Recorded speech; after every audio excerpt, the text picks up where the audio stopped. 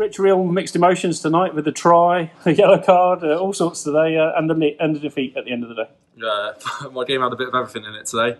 Um, it was always nice to get a try, but it's not it's not so nice when you it's like coupled with a loss. Uh, how tough was it out there today? Ross obviously came with a, with a game plan and implemented it very well.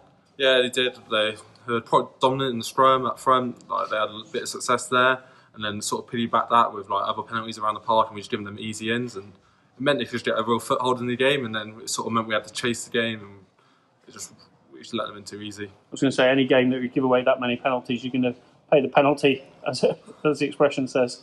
Yeah, um, I thought we fought really well, especially in our own five metre line. Um, when they got down there, we did try, we did make it hard for them to score. There's some real physical collisions and real hard work, um, and I think that showed. But it's just after that, like, we had a real positive. Like we often like coupled it with a penalty to them, and then it's just we're back in the same position.